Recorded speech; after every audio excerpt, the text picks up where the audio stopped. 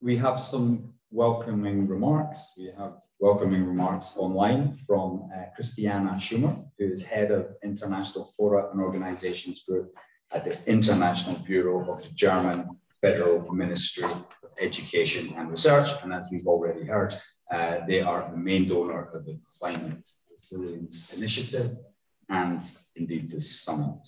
It is a great pleasure to come together on this pleasant summer morning in person or online, as you can see, at the UNU's Flood Knowledge Summit 2022 from risk to resilience. And it's a great pleasure for me to welcome you all on behalf of the German Federal Ministry of Education and Research. One year after the devastating flood, the summit is a good opportunity to take a moment to reflect and to look ahead. The region and its people still suffer from damages caused by the flood. Reconstruction has to be climate resilient in order to prevent future flood disasters. Nevertheless, transformation needs to take place in close cooperation with the local people to gain their acceptance. These are challenges, challenging processes.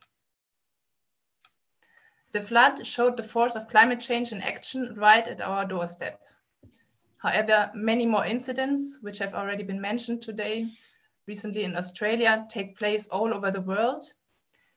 And I would like to recommend the UNU EHS report on interconnected disaster risks to get some more information on this. It's time to act. Over the last two decades, the Federal Ministry has invested under the FONA framework program more than 5 billion euros in research for sustainable development. Last year, additional projects were established that investigate how local communities can protect themselves against the impacts of extreme weather events.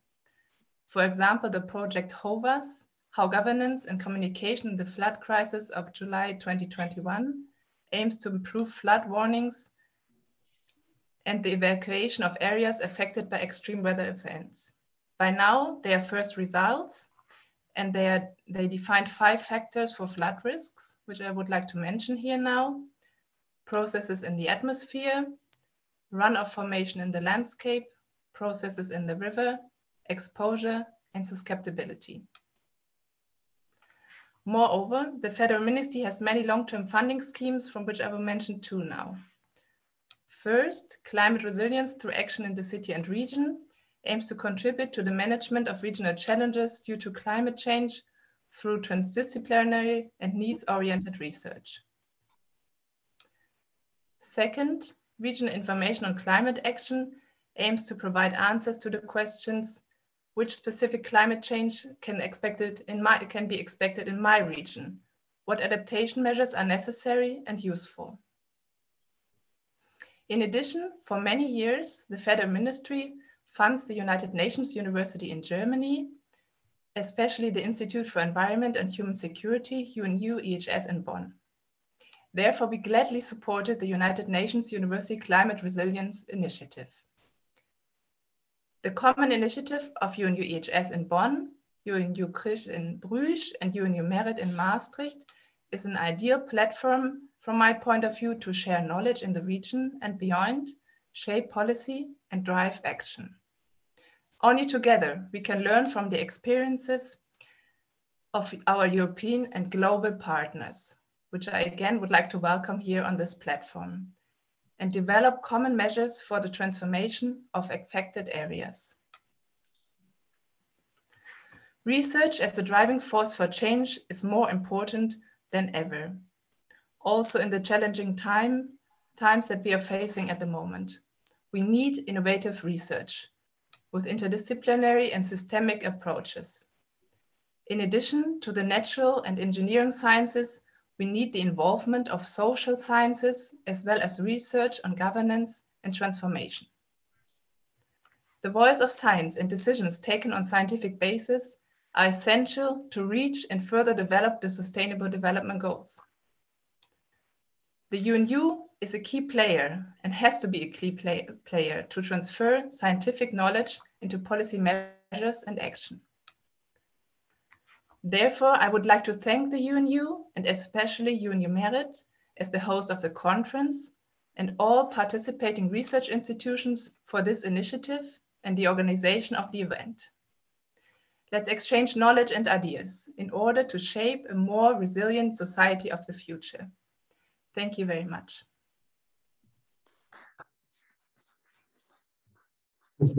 Thank you very much indeed. And I think we definitely we hear your call specifically on driving action and for innovative research. Um, we now have a keynote address uh, from uh, Dr. Martine Rutten, who is Associate Professor Water Management at TU Delft. And I'm going to hand over to Saskia Werners, uh, who is Head of Vulnerability Assessment, Risk Management, and Adaptive Planning at UNUEHS.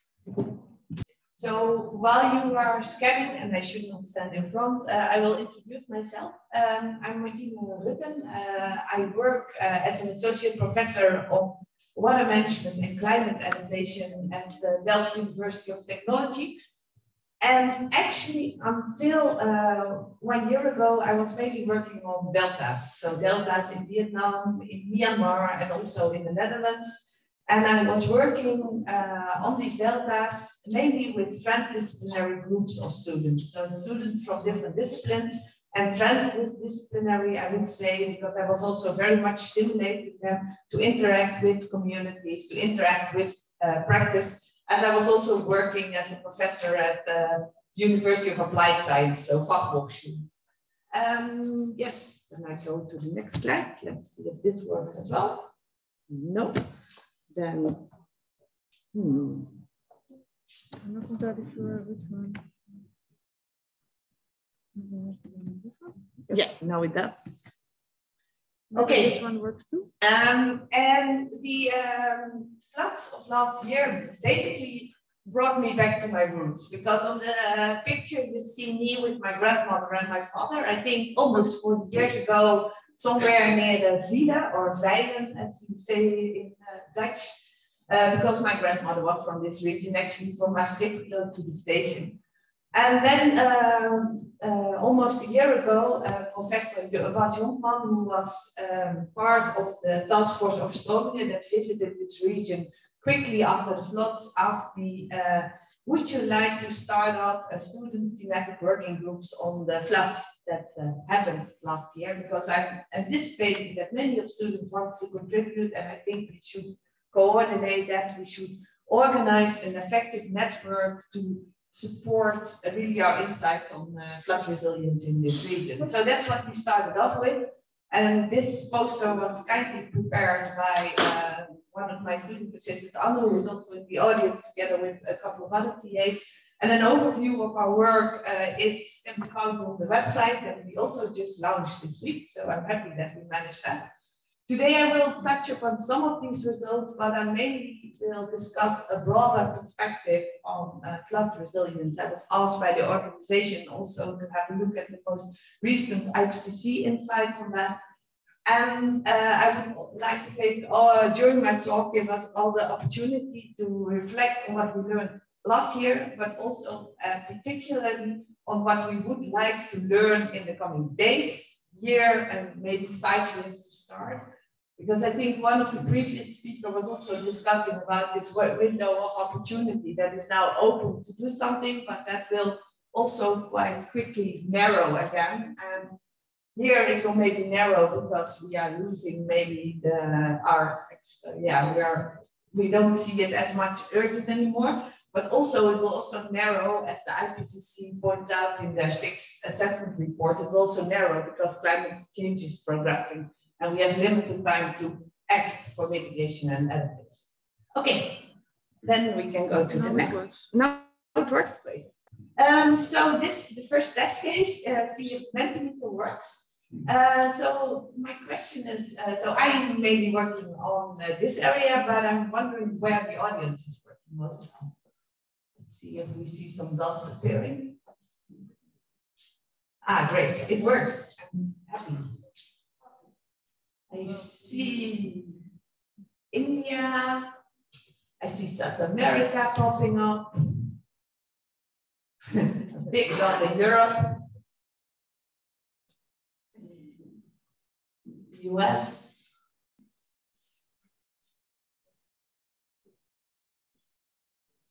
More spread. No one on the flats in Australia? It was just mentioned, but I see no dots there yet. Oh, yeah, yeah, great, we have one.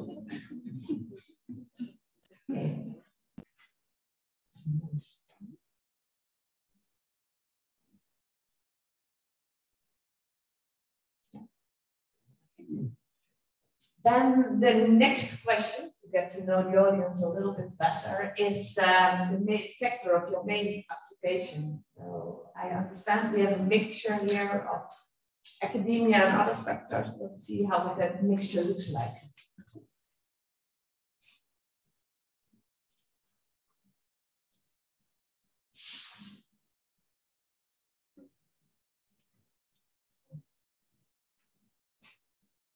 Okay.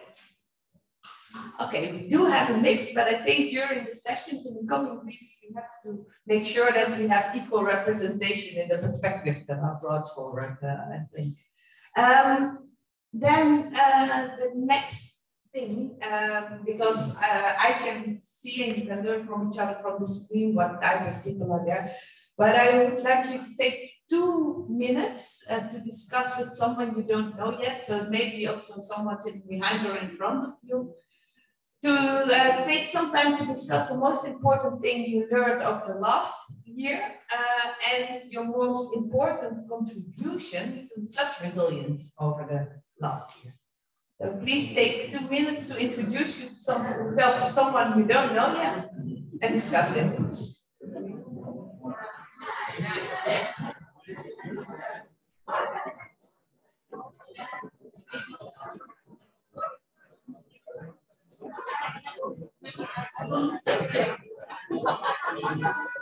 From uh, dit niet uit beeld krijgen, maar ik heb het nou even onderaan gezet. I don't know you, so maybe I'll discuss Yeah, it. okay. Yes.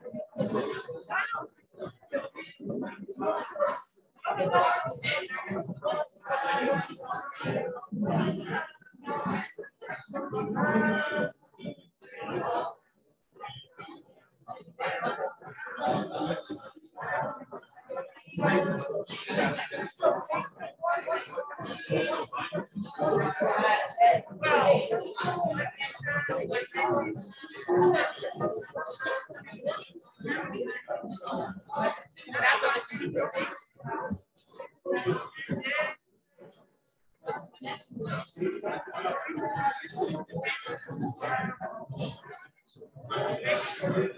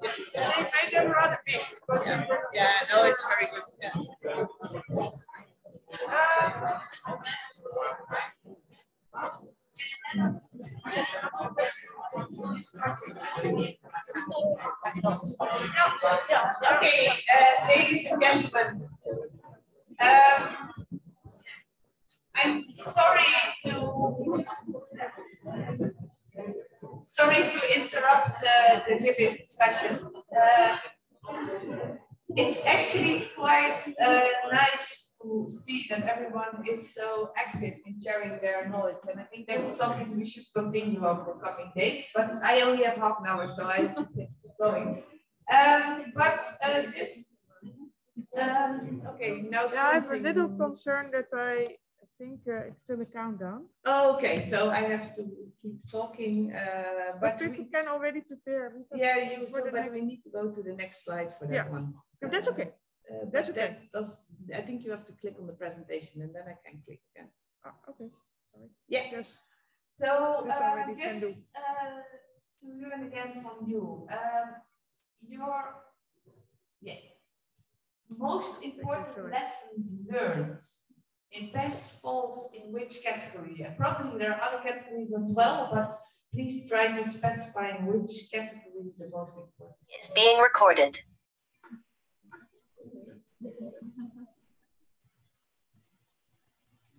Interesting.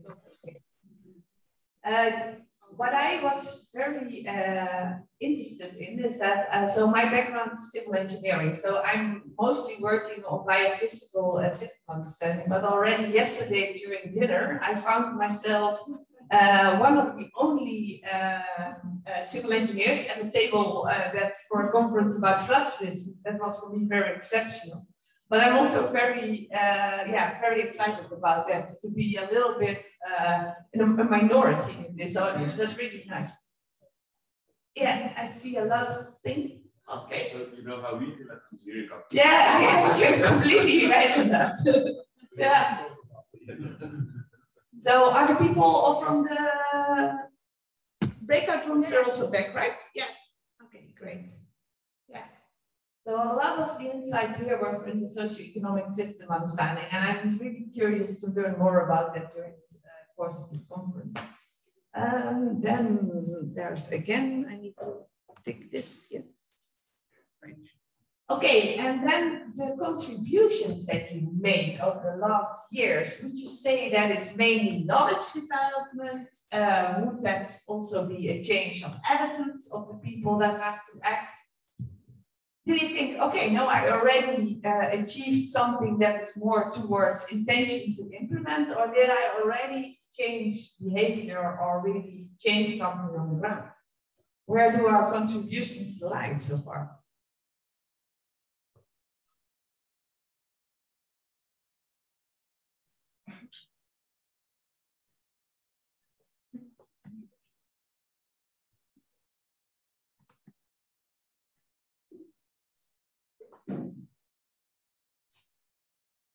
Okay.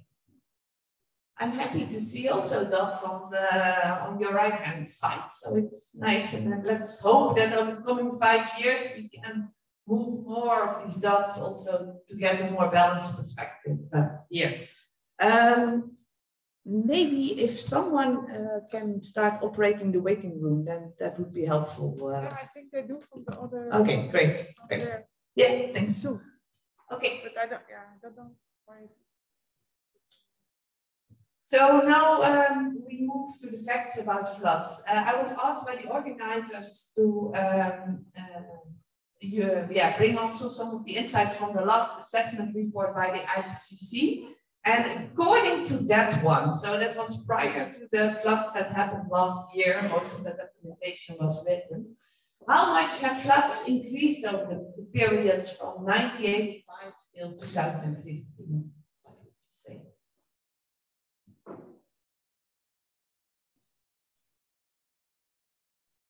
Yeah.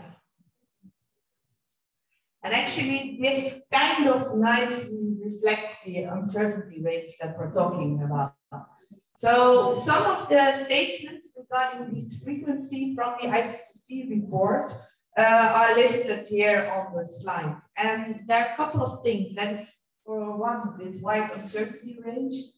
The other thing is that um, the geographic uh, variety, right? So we've seen uh, uh, uh, increase uh, fourfold in the tropics and northern mid-latitude, much less. Um, but what I think is also very important to bear in mind when we're discussing floods and when we're discussing uh, resilience is that it's not only about floods, it's also about droughts. And particularly in this region, for example, in Maastricht, before uh, the uh, floods happened last year, we experienced at least four years of severe droughts, and we're entering into one currently again. So it's something to bear in mind as well.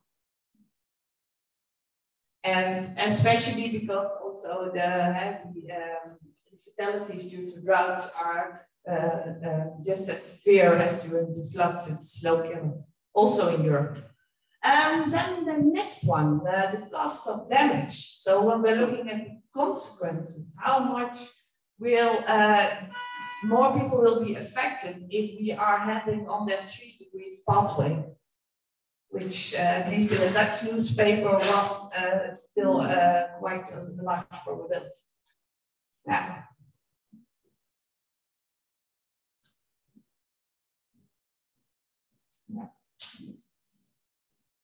We're on the higher end, factor three to four.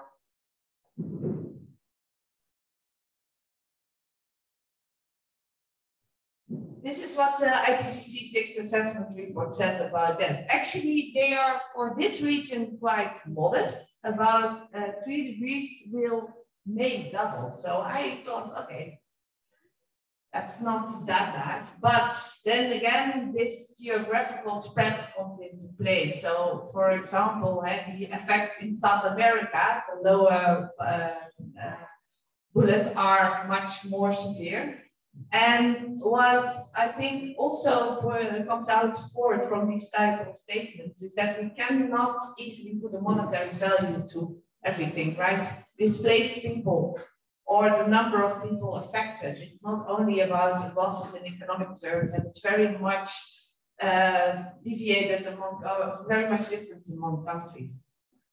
Um, this is, uh, again, um, a table from the IPCC report, which reflects, again, this uh, spatial variability in how the region is affected and also on a much wider range of uh, impacts that climate uh, change has. Then moving uh, to this uh, region. So uh, this was uh, a picture that you probably have seen quite a lot over the last years. This was precipitation as it fell next week a year ago with a large variability, which a big red center close to this area. And um, we have looked at, uh, when you are talking about climate change, we have looked if we assume stationarity, so climate is not changing, what would have been uh, the return period for, in this case, the Geul catchment of a 20, uh, 48 hour return period. This was done by one of my students and already on this quite small catchment, you see a lot of variability, but you also see that some of these uh, uh, precipitation events had return periods for once every 250 years. And if you then know that the city of Valkenburg, for example, the flood uh, defense system was prepared for once in uh, 25 year event, you can imagine uh, that uh, actually they were still quite lucky for what happened uh, there. But this is uh, assuming uh, that uh, we are still not under climate change condition when it comes to rainfall. another student that I'm working with, Athanasios, and he has looked at trends in precipitation. And what he found, and what also other researchers found, is that there are significant increases in extreme precipitation, particularly in summer in this region. And I was yesterday pointed out to a documentary that was on German television where even up to nine-fold increases were mentioned. I didn't check it yet, but that was also one of the figures that was mentioned. So we do see that uh, climate change is uh, also in this region driving uh, the increase in flood risk. Yet, um, it's not the only driver to uh, flood risk. And I think when we are thinking about intervening, when designing solutions, when thinking of adaptation or recovery pathways, it is important to understand uh, what uh, the drivers are, how strong they are, how much effect they have, but also particularly how uncertain they are. So what are the most uncertain effects we need to prepare for? And this one I did not try yet on Mentimeter, so I'm very curious if it works. So what I would like you to ask you to do is basically place the driver, so the precipitation due to climate change, land use, hydrogeology, and uh, geopolitics somewhere on the slides. And um, also start thinking about important drivers that I missed, because that will be the question that will pop up on the next slide. So please put the driver somewhere on screen. So how much impact do you think they have when it comes to flood risk and how uncertain they are? And think about other drivers that I might have missed.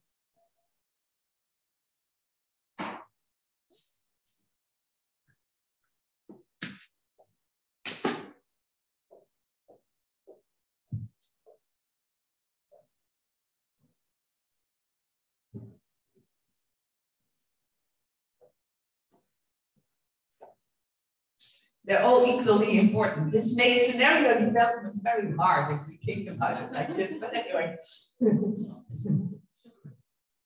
so now at least we have to make a four by four matrix of scenarios, which is typically uh, quite a difficult exercise. But anyway.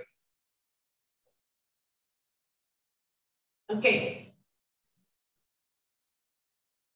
Now, which factors were missing? What do you think is very important and uh, was missing on the previous slide? So in addition to climate change, land use, geopolitics, the local geological situation, what is very important? What should we consider?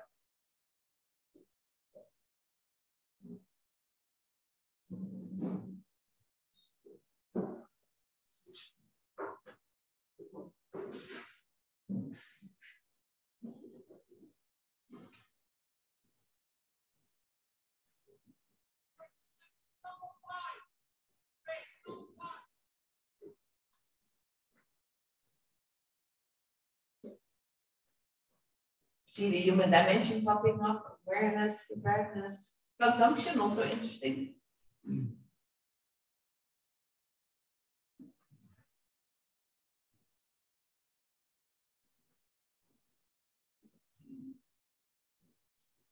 Wow. yeah. So, yeah, will, yeah. Nice. I will have to uh, get some students organized to organize and rank this, but thanks. um, again, uh, back uh, to this, uh, this area and some results from our lab so far. Um, when it comes to the factors driving, uh, so I've already discussed that uh, the precipitation and also the change in climate change has had a major factor. But if we look at the attribution of the uh, flood peak in the Geul, which is uh, here, and here you see uh, the different uh, tributaries and how much they contribute to the floodplain. Uh, what we found uh, using some hydrogeological modeling is that there are a couple of things that were very important when it came to understanding floods that happened last year. Is for one that the um, antecedent conditions uh, played a big role. So how much moisture was already there in the, in the soil. And that actually the floods could have been up to 40% worse in the Dutch part if the whole soil had been saturated. But also it would have been less if we were under normal conditions because we did have some severe rain events also prior to this particular flood event. And the other thing when it comes to driving forces is that uh, the land use types uh, play still a big role. So it rained hard, but not that hard that on unpaved soil uh, the rain would come directly downwards. There, there were still some delays, particularly on the more natural unpaved uh, land use sites. Um, when it comes to uh, um, what you can do, so there is certainly possibilities to do things in the landscape, to mm-hmm. work with uh, more blue-green solutions with natural buffers. Another thing that uh, we looked at is uh, moving more to the flood early warning systems. What can be done there? And um, what we see is uh, the flood early warning system as it functioned uh, last year can be improved in a couple of ways. For one, better rainfall data. So it took quite some effort to get a good picture on what type of rain uh, happened. And this also requires some transboundary collaboration to get that better. Um, the other thing, for example, is to uh, basically uh, more quickly share discharge observations across the border. That will also uh, make the response uh, or the warnings better and the response faster, even in this small transboundary catchment of the Geul.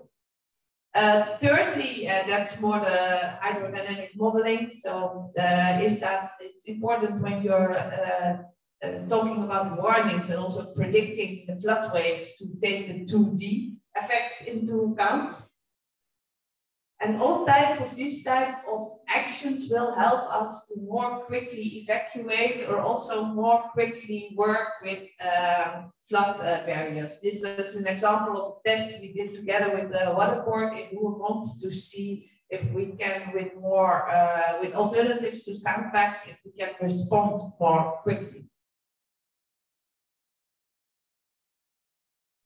Um, another thing uh, that is um, uh, important to take into account are the more measures that the local house owners can uh, take. And one other student, he investigated how much would flood risk reduce with dry proofing. Although this morning I also had an interesting chat with one of the people here present at the conference, and he said, yeah, after the last floods, uh, everyone started floodproofing their house up to 20 centimeters because that was the last flood. And then all of a sudden it was a couple of meters, so it didn't help at all. So here it's also important, like what, what, what is the flood level that you're preparing for?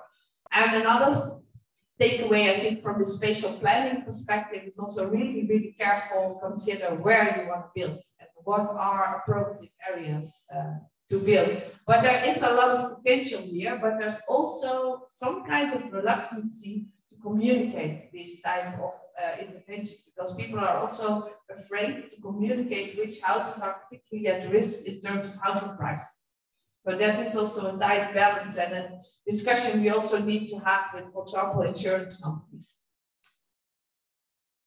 Um, so basically, uh, what uh, I would like to do in the coming uh, one to five years is get more understanding on how all these interventions can act uh, together because we're working in one landscape, in one water system.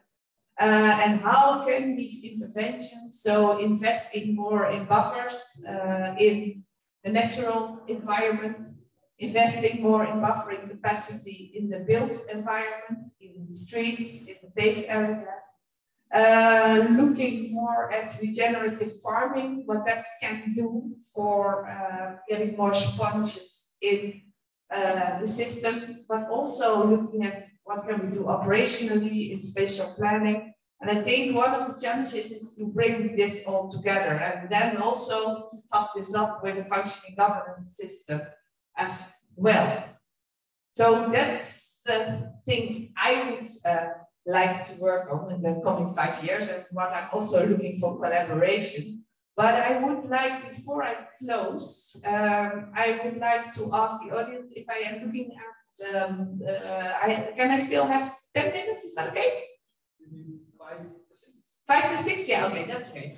So still, I will I will give you uh, a couple of minutes. Uh, so because this was basically uh, also one of the pictures from the sixth assessment report, where the pathways are sketched, right? And so I would like to do what I previously described on on the slide to embark on this green pathway. But I'm curious to learn what you would like to contribute to that pathway. So. Um, again, so it's uh, four minutes because I need one minute to close off after. Uh, to discuss with someone else in the audience, uh, what would you like to learn about contributing to flood resilience in the coming two year, two days here, five, uh, five years, and what do you need for that, and who do you need for that? So please find someone you haven't spoken to yet, and take three to four minutes to discuss this. Yes. ladies and. Um, I would like to have your attention for two more minutes and then uh, we can continue uh, the chats again. Yes, thanks. Okay.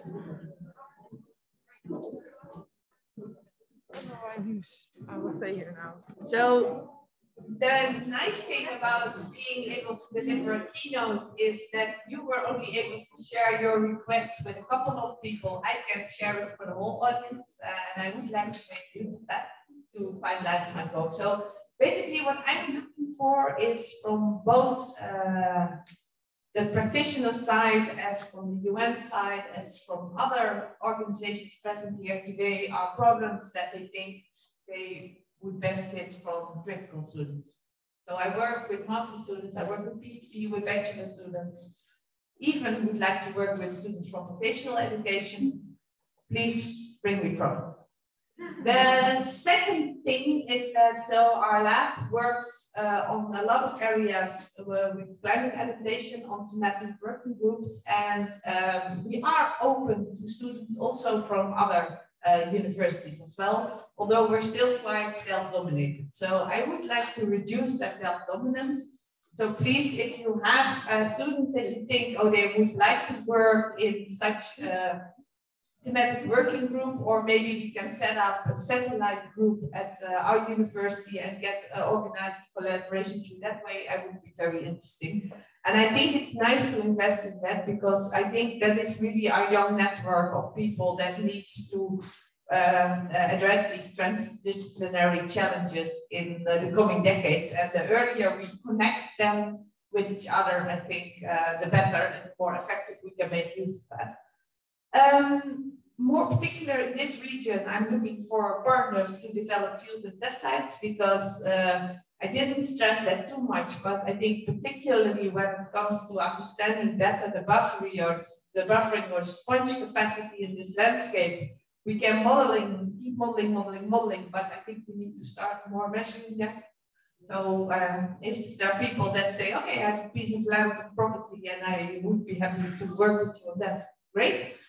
Uh, and uh, the thing, uh, I didn't put it on slides, but who would classify themselves as part of the creative sector or uh, arts or design. Yeah, so I think I think it's also interesting to see how how can we better integrate them in our community and create these perspectives that we we need uh, on our landscape. So uh, that I would like to uh, close. Uh, my contact details are here on the slide, and um, I'm looking forward to a very interesting uh, conference and to meet many of you today. Thank you, Martin. Thank you, Saskia. That was really uh, interesting, enlightening, and I think your last point there is critical. It's, uh, and we have touched on it um, earlier on the multidisciplinary cross-border element of this, but there are so many industries and individuals um, who need to be involved in, if we're to find proper solutions. We now have the plenary session.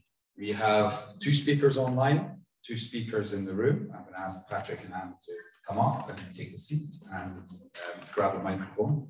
The title of this session is The Water Will Come risk perception and community preparedness. And I think we know already that the water is here.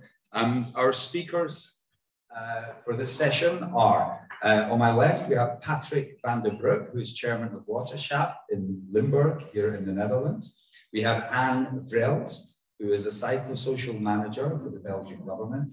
And online, we are joined by Dr. Martin Schiffarth, who is a leading medical doctor in the Ahr Valley in Germany, and Cornelia Weigand, who is councilwoman uh, at Landkreis Ahrweiler. Apologies for my pronunciation, but good morning and welcome. Um, we're going to start with a couple of questions, and I want to try and get some questions in from the audience too in this session. But the first question um, we're going to uh, ask you about is individual risk. Um, and I'd just like to try and gather your thoughts on you know, how individual risk perception, and this is something that Martine touched on uh, in the last few minutes of her presentation, but how individual risk perception could potentially enhance or undermine collective perception of these disasters of floods and perhaps other emergencies. Patrick, um, could I start with you and your thoughts uh, and your experiences, particularly from the last 12 months? Yeah, um, I will. Well, uh, when you live in the area of Valkenburg or uh, Keulen, you, uh, you don't have any warning anymore to understand that you have uh, enormous risk. But uh, what is um, special about it, um, much people built a back which they had.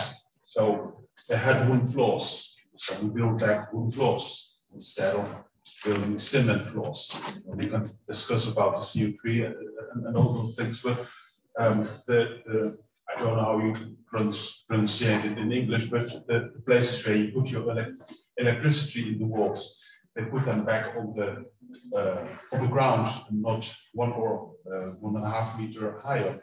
So that is an interesting question why people do that. I'm not a social um, uh, investigator. Um, I, but I think that most of the people uh, do things like this because they don't uh, want to see, because they are afraid. Building back which I had did give me comfort. That is what I'm used of. And people are perhaps afraid of looking in future and, uh, and acting in future. And I think also, um, especially for the Dutch people, we have a very, uh, we are very uh, confident about uh, uh, water issues. We are world famous thanks to all those brilliant people from Delft. We built the best uh, water defenses in the world. We are famous about that. And so um, water crises are no issues. So uh, um, this was an absolute wake-up call, also for us as a water authority in the province of Limburg, and just as we had also such a wake-up call in 93 and 95, because in the province of Limburg we never uh, realized, we never thought about it, that we could have uh, um, uh, such a catastrophe as in 30, and in 93 and 95. And now we have uh, again a crisis, but now in the secondary system. So uh, this uh, the perception and realization of people who um, uh, um, um experience this crisis. Uh, people also were brought up were brought up with um, the, the, realization we are safe for water, but we aren't safe for water. So left to their own devices, people might build back the same instead of better. Yeah. Um, An, I, do you have any thoughts or any comments on this? I saw you nodding pretty yeah. vigorously. Um, maybe just a little addition. Uh, it's good to know that our role um, or the role of psychosocial managers in Belgium lies mainly in the emergency response. So not necessarily um, in the in the prevention or the changing of risk perception uh, before that. Of course, it's something that that we as a government are are thinking about really uh, yeah, hard, especially looking at, at what happened last year and, and also after other events. But we we see that the risk perception, collective risk, risk perception, is, as we know, uh, influenced by a lot of things. It can be individual characteristics, we see that people are much more likely to change their risk perception if they lived in these areas. For instance, now we see that there's there's some change, but we also work on other calamities or, or collective disasters. A flood a village away has less of an impact than a terrorist attack. We see that the, the risk um, perception is, is different or the influence is different and the government, and we have a big role in making sure that people get trustworthy information to make their risk perception be as, as, as aligned with the actual risk as possible. And that is something that we see, for instance, last year during the floods, that there are things that, that really went well, like the, the Belgian government really goes into um, monitoring social media and seeing what the risk perception, what the concerns, what the difficulties are explained there, and tries to respond to that. But in other ways, we didn't always do a great job in making sure that even within government or between different government structures, the risk perception was communicated in the same way. So you have to experience it. And Cornelia, is, is that your experience also? Um, first of all, hello together. Um, I would like to ask that those people that do not speak could mute their microphones because otherwise we would hear all these back and forth noises. It's very difficult to follow um, the speech. Um, I would like to say I'm not only a councilwoman of the county Ahrweiler, I'm uh, the chief administrator elected by all the citizens. And maybe I would like to um, give some figures of our region and then come to this question of perception. Um, the, the, the, the river Ahr is uh, almost 90 kilometers long and um, has a drop in altitude of more than 450 meters. So within those almost 90 kilometers, it has the same drop as the river Rhine from the Lake of Constance up to the North Sea. And this means that this river is uh, getting very fast when there are high waters. We have had last year with this low Bernd, we had 134 deaths in this night and two people are still missing. 40 kilometers of the river have been destroyed and a lot of their backwaters too. 42,000 people have been affected by this flood. 9,000 houses are severely damaged or destroyed completely. And regarding um, the damage in, in uh, heart, uh, uh, in money, it's uh, around um, 33 uh, billion euros uh, in Germany.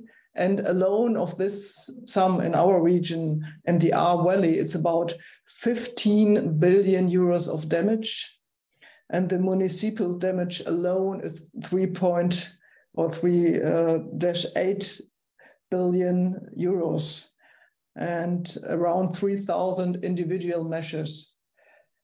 And this makes uh, it visible maybe what has happened in this very big area.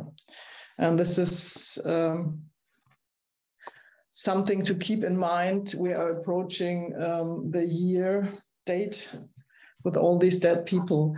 And I've um, again thought about this thing of personal perception. There are, I think, some aspects that come into play. There's um, the right behavior is influenced by group behavior. Um, if you think about this thing of corona and wearing a mask or not wearing a mask, um, in Asia, it's very normal to wear a mask in public. And in Germany, for example, it was not thinkable to wear a mask in public before corona came. And now um, the laws are um, not so tight anymore, and you are not supposed to wear a mask outside and in, public with a lot of people. And when you have a crowd, you very, would very seldom see someone wearing a mask. And the same thing happens um, if you want to protect your property or your life. Another thing probably is um, the individual life experience um, and the own risk perception have a big influence on how it to react and had a big influence how people reacted here last year. People living on a river are used to water and they have an idea from their own um, from their own life experience what water and a river and a flood at the river would mean.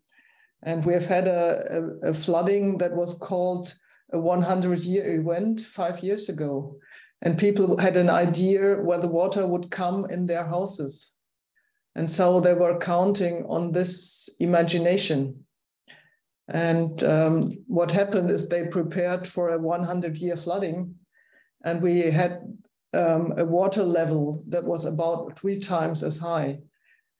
And this is part of, of um, the, the personal awareness. How, how can you imagine something that is not imaginable? And this is uh, one of the big questions how to prepare. And maybe um, it's the unthinkable. You don't have enough fantasy, or the others say you have too much fantasy. also most of the experts here didn't have an idea that something like this, three times as high as a 100 year flooding could happen.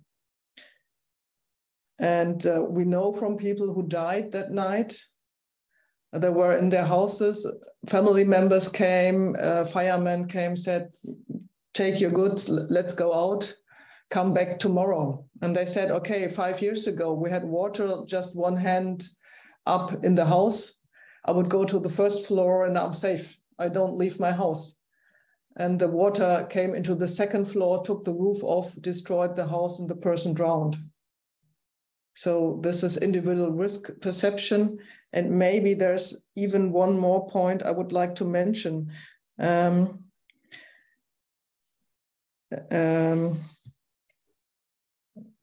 we have something that we call um, flooding um, dementia. You would, uh, when you have um, traumatic memory, you would hide this. You would not want to think about this. So you don't want to prepare for the next event. Maybe you do some preparation at the beginning, but after a year or two or three years, you would try to block this memory. And this is also a big influence what we have seen after 2016. And we don't know now what would happen with this dimension between trauma and neglect of this memory. Cornelia, thank you. Um, Martin, perhaps you could add to some of that from and, and, and give us some insights into your personal experience on, such circumstances. Okay, um, hello everyone. Can you hear me? Yes, we can hear you. Perfect. Uh, so we talk about uh, things that can enhance or um, undermine uh, the collective perception. Um, a lot of things are said. Um, I think um, one point is that um, not everyone is interested in disasters. We heard it before, and it's a known problem uh, that there are many more interesting things um, and urgent topics. So catastrophic events um, are rare, and the society depends on a functioning system. That means um, that um, the responsibility for many areas of life that were transferred to institutions uh, and I think uh, that increasingly uh, abandoned one own's uh, capacity uh, to help ourselves in um, a catastrophe. Um, so I think we need to communicate uh, to the people um, what type of help they can expect in case of a disaster and um, what type of help uh, they don't have to expect.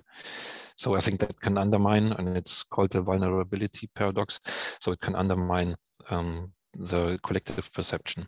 So there are um, things that make can enhance uh, the perception. And I think uh, when we develop flood risk maps that integrates local knowledge, we have um, thousands of experiences along the river. And we uh, should integrate this knowledge into uh, the flood risk maps. So usually flood risk maps um, in Germany um, they are uh, for specialists. You need um, to to work with these flood risk maps to understand these maps. Um, we should integrate local knowledge um, that is held by different community members. And uh, I think we can uh, consider or develop new explicit knowledge. Um, what can be disseminated through the community and then became a group level knowledge. So um, I think individual risk perception in this way uh, could enhance the collective perception. Um, we heard about, uh, or maybe we, we, don't talk about the cry wolf effect. So if um, someone's alert alerting uh, when a flood comes in and it's uh, usually a minor flood so the the people or the confidence is reduced uh, from from through the early warning system and that means or is called the cry wolf effect and can undermine our risk perception. Um, the last point uh, to this question, um, I think um, one possibility to enhance the collective perception is to to make drills, to make evacuation drills, um, to train together uh, with the um, with the people in the Ahr Valley or in different other valleys in Belgium or in Netherlands. Um, and uh, that the uh, habitants feel like a part of the evacuation drill. Okay, thank you. That's good. So that kind of, and, and all of you have touched on probably what we should move on to next, which are the kind of, uh, um, what are the suitable or the most effective forms of risk reduction? Uh, what are the approaches that we can take to minimize the risks and to sort of share the knowledge, education more among communities? And do you have any um, thoughts on that? Well, I think it's it lies knowing whether whether something is suitable or effective, there we need, of course, all these academics. We saw they're, they're very well represented. So I think there's research. It's, it's, it's so important to really know how to do it and, and what to give as a message. Um, in Belgium, I have the, the honor with my colleagues to set up a center of expertise to make sure that we can translate knowledge on disasters, on, uh, for instance, floods, and especially from the psychosocial lens, how can we translate it in prevention, in education, in, so I think that is, is an important step.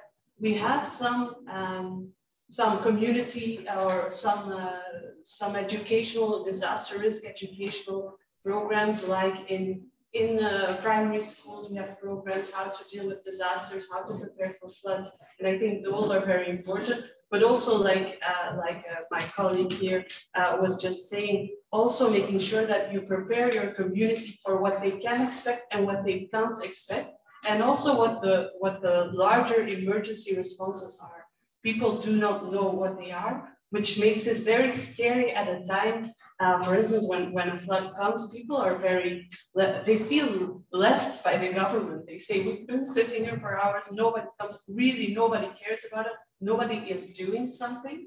And also changing that narrative, knowing that, that there are plans in place um, can help. I think also not only looking at educate, educating the community, but also educating professionals who come in in contact with anybody who is a victim or affected by a flood. We have so much knowledge on, for instance, the, the potential protective factor of social cohesion before, during, and after floods that, that will greatly decrease the impact of the floods. So informing people about that and helping people use that knowledge both in the preventive and in the after.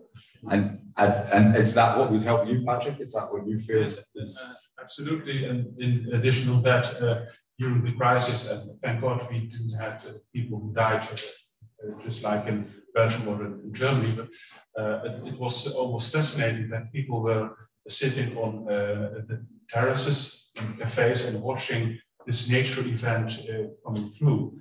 Um, seeing caravans, Dixies floating by and living on their beer, uh, people standing on dikes, these dikes getting saturated by water. So the, there was a risk of uh, collapsing uh, these dikes. And we told people, uh, those dikes, they can be saturated. And uh, a lot of them thought, well, was standing straight.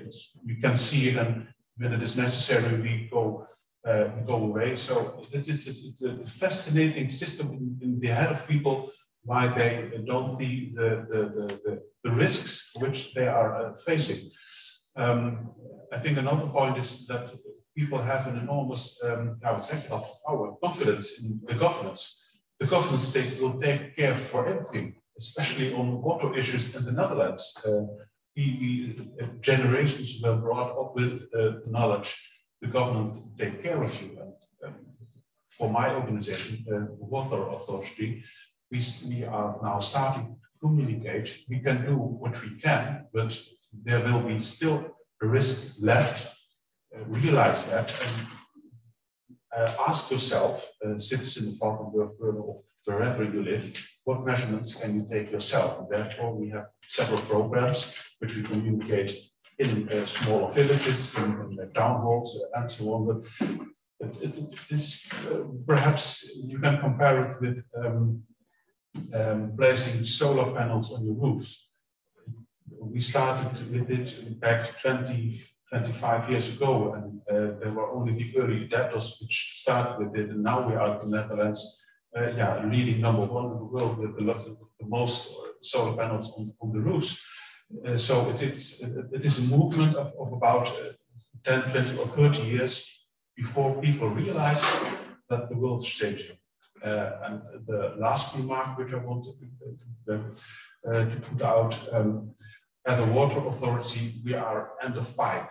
We are uh, end of pipe of the solutions which we create. Dikes are wonderful and give the river uh, its space back as we do here, as we did here in Maastricht or in the Nijmegen uh, are perfect examples how we uh, collaborate with nature, not work against uh, nature.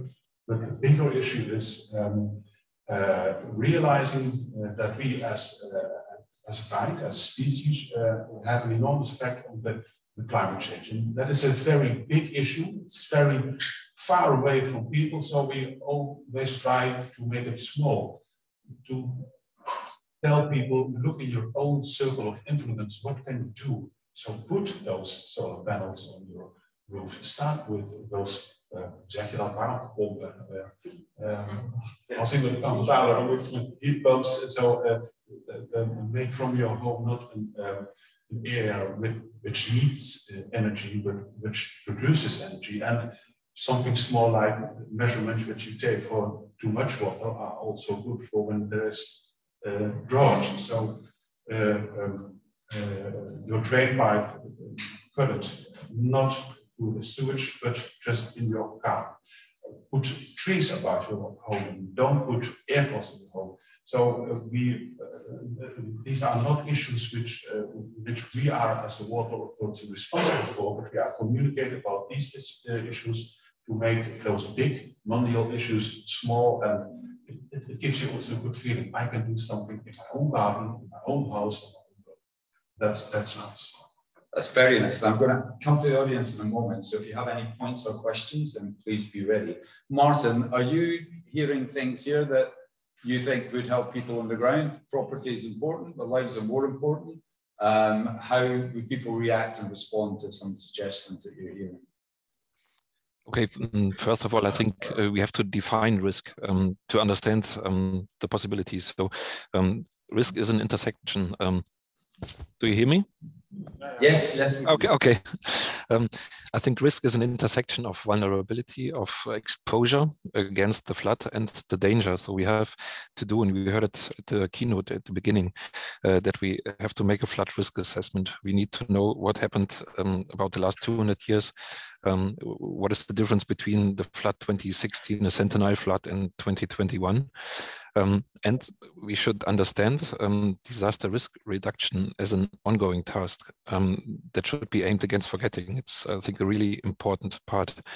Um, so I can't give um, any any uh, tips what what is to do better but i think um, um, i'm connected with different scientists from different countries at the moment and um, there are a few ideas so referring to the emergency service i think we need um, uh, a resilient uh, early warning structure. So we need emergency planning, as I said before, with um, interactive flood maps, I think um, we need the right tools to, to rescue people. When we talk about risk, um, it is um, not clear where the next flood will start. It can be in Germany, it can be in Belgium or Netherlands, and we need the right tools to evacuate people. So um, in the background, you see a helicopter, we need uh, helicopters and hoists, and we need trained persons. So um, I think that the main factor in decision making is um, are the human beings that are doing decisions. So we need education and we need to make um, things that are not imaginable. We, we heard it from Cornelia Weigand that um, should be imaginable and we should use new technologies uh, for training. So um, in, in my sector, the air rescue service, so we talk about errors, um, human errors every day, because one error means that an helicopter uh, crashes. crashes. So um, I think we can learn um, for disaster management from the air rescue service. So that's one part. Um, for the recovery, we heard it before, we should build back better, but um, I think it's it's a big problem. Uh, wine growers within their livelihoods um, should build up new houses in a different position, um, but everything, the tourism uh, depends on on this connection of wine growers of this river. So it's it's really difficult. and the last part. Okay. okay. Do you have another point? It's okay. Um, so so the last last point is. Um, um, no, that's it. Sorry. okay, that's it there's a question. I'm. I don't want to neglect the online audience, but there's a question there, Martin. How do you see Uh, this one to Kohler. Uh, how do you see the military civil cooperation during the event? So yesterday I was uh, near Hanover um, um, together with the military, with the search and rescue command, um, and um, it works well. So my first, my first sighting flight uh, through the Ahr was the 15th of July, uh, together with the military, um, and it it works really really well. Okay, that's it. Any points from the floor in the room? Does anyone have any questions? Or okay, so if you just use this microphone. If you Okay, one question to you, Cornelia Weigand. What do you suggest for other Ahr-type valleys to take away from this event, especially from the experience, and what you now know what could be done better? This is one general question. And specifically, such as the Ahr Valley, the, we are quite fortunate in, in Europe to have time series of sufficient length to calculate the one and 100 year flood. Yet, uh, such as the Ahr Valley, we have learned that assessment of historic floods might maybe is essential to incorporate that when designing flood maps and so on. So how do you think this should be going forward also for other valleys? So what can we learn? And could you say briefly who you are? I'm Torben Römer from Hanover. Thank you. Cornelia? Um, I will try my best. Uh, I, I, think um, I don't have uh, solutions, not at least not plentiful solutions. I have impressions. I don't have enough time to correspond with the scientific branches from different areas to condense enough of this. But I would like to give you some ideas on this. Uh, um, what what can other regions learn from our regions? Uh, one thing, of course, is to to to try to think the unthinkable, to make sure that everything you do is not enough uh, for the, the, the bigger risk. Um, we have had good plans for the region where I am up to the the um, 200 year risk of flooding and this is what the, the, the firearm man did do to work on these plants. And these plants still didn't have half of the, the height of the water. So try to think the unthinkable. Try to imagine, get down the priorities, saving lives, saving properties. Uh, which means uh, that you have to think about evacuation routes, that you have to think about means of reaching people at that night which means re redundant systems, um, systems that work without um, electricity, that have buffering systems. Um, this topic of cell broadcasting, so you can push um, information to people and be aware this is not enough. At least in Germany, there are many places where cell broadcasting doesn't work because there is no um, reception of any mobile signals in this place. So think about sirens, uh, which have been put down in Germany ages ago. Um, this thing of education is, I think, very important to get back risk education uh, to the schools.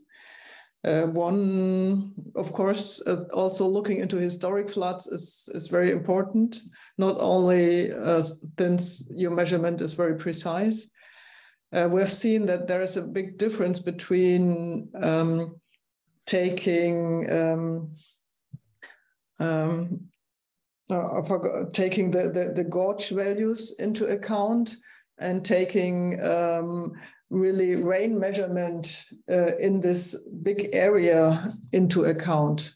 There was a misreception uh, of how much water actually reached the, the, the, the area of the um, the river because mostly the, the data came from, from measurements of the gorge in the river, and that is too late because once the water is in the river, um, you have lost maybe an hour, maybe two hours, maybe three hours.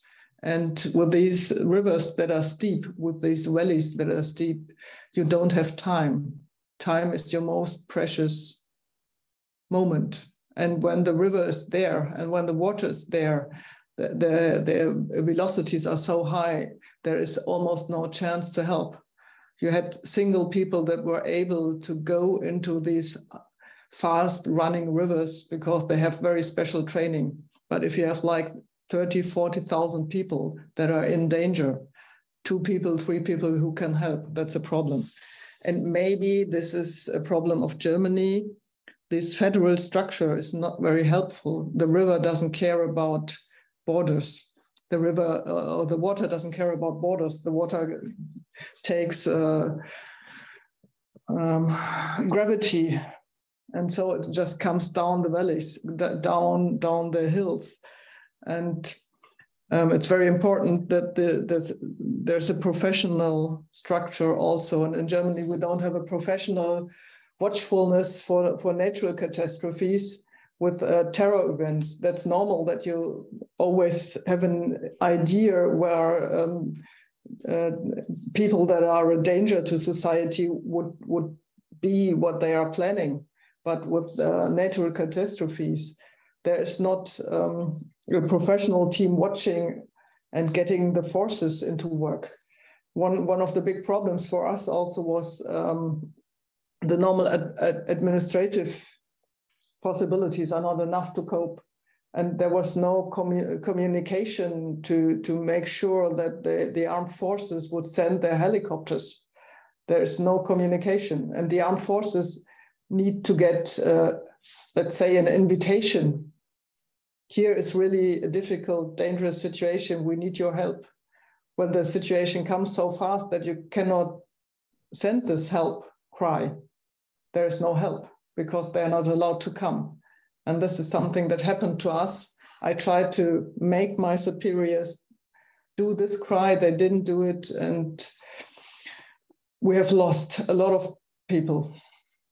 And this is also maybe some, some, some, some part to realize you don't have much time. So you need a very good, powerful way to, to um, to react on the situations with all the other aspects that we have heard before with education, with meditation, with um, consciousness about what could happen with education of the young people, with education and training of the adults.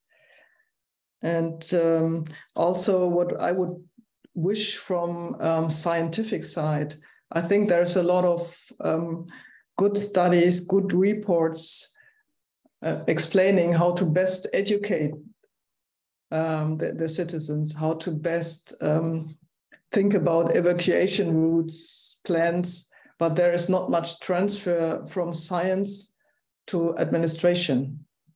It's difficult to have uh, different uh, study reports and think about what is best for your region. It would be um, very from my side, a, a big wish to, to come closer to um, structures that we can break down and make them happen in our regions. Okay. And I guess this is important to think about this in your valley. Think the unthinkable in your valley and ask also your universities around them what are good concepts from science. Let's try to break them down to our region before something happens. Good. Uh, Cornelia, thank you. Uh, Patrick, you have something to add to this? Yes. Um, uh, um, I'm, I'm, glad to, um, to explain that uh, yesterday we presented um, um, an uh, early warning system cross border with Belgium and with Germany. So we are working together. It's very good. And, and I once was told the best prevention of a crisis is preventing this crisis. Um, uh, uh, and what I want to say with this, the, the real issue is rural planning. Uh, uh, when you look at the Aargau, I saw um, yesterday uh, a documentary uh, on my laptop. It was uh, several weeks ago, but there was found out the Romans in the Aargau, they put their buildings 20 meters higher than the Aargau. But we as humans were thinking we can build everywhere. Uh, I mean, and we can mine out uh, our earth uh, as it is waste. so um, rural planning is essential, but how do we behave to, to the earth? We have to uh, care for the earth, not to mine the earth. that is the bigger issue. It's, it's, it's a bit uh, uh, spherical, or how, do you say it in English? As I said, that is the real issue. How do we, uh, um, as human beings, uh, act towards nature? Shouldn't work against nature, we should work uh, with nature. Uh, so are, are there lessons here for the floods, for other uh, extreme weather events and disasters from collective action that we saw around COVID? It's been touched on already. Um, yeah. Are there, do you have any thoughts, Patrick or An? Yeah, I see. May, may I very fastly um, get another idea to what uh, you've just said? Of okay, course, it's, briefly. Yeah. It's, it's, it's very important uh, from uh, the, the moment today into future to plan and not only to plan on a local level, but to plan on a regional municipal level, on a broader level and to, to get risk perception into the planning. But yeah. um, the other thing is what um, you have a, um, an actual situation, uh, how the buildings look like, how the villages look like at this moment. And it's not possible to change completely, and it's not possible to get all people out of the valleys onto the hills and the mountains. That doesn't work in Europe. So from from now on for the future, it's very it's not very easy, but it's it's it's uh, feasible, and you have to work with nature but you also have to, to, to develop good concepts to, to cope with the actual situation and be realistic. And I think this is also important, this from science to the village to be realistic. Otherwise you would lose the people and nothing, nothing changes. Okay, that's good. So then are there lessons from COVID on this or is that just a not, is that kind of false comparison? Well, I, I think the comparison is a bit um, yeah, you can always make comparisons, but I think the situations are, are very different. But looking, for instance, at the at the community action, the volunteering that, that we saw after COVID, um, thinking about that, I think we saw a lot of that as well after the floods, at least in Belgium. The surge in in volunteering and in, in just very spontaneous volunteering was enormous. Um, I think we saw it from the very early start. We saw it the region was also so vast. So a lot of the, the regions, a lot of parts in the region were not um, yet reached by the, by the official response. So I think there, there's a lot of similarities in how people stood up to volunteer, to support those affected. And I think we can learn a lot from COVID in the sense that there we had a lot more structure in the volunteering. Um, now we had a lot of very spontaneous volunteering, which comes with a lot of good energy, but it also comes with some some pitfalls. Like we saw that that a lot of people were there was a lot of vicarious trauma as well. A lot of the volunteers found themselves in very difficult situations, and they they go home with a lot of emotional and psychological damage because they were not prepared for what they saw. We saw that there also a lot of the volunteering is often short-lived. People want to do something or, or it goes in all directions that not necessarily respond to the need. And I think there, there is a lot we can learn from the COVID volunteering is that we need to bolster and foster that, that, that enormous um, yeah, energy, good volunteering energy making sure that it, it's not, not too structured, but still that we, that we support that volunteering effort. Because I think, especially if you talk to people in the region, if they say, what do we get out of it?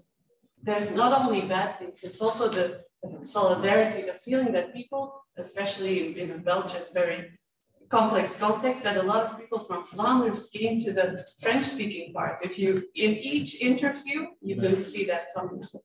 Okay, and that's and the, I guess the point about time is interesting because bizarrely, in some ways, to Emilio's point, that there was a little bit of time in COVID.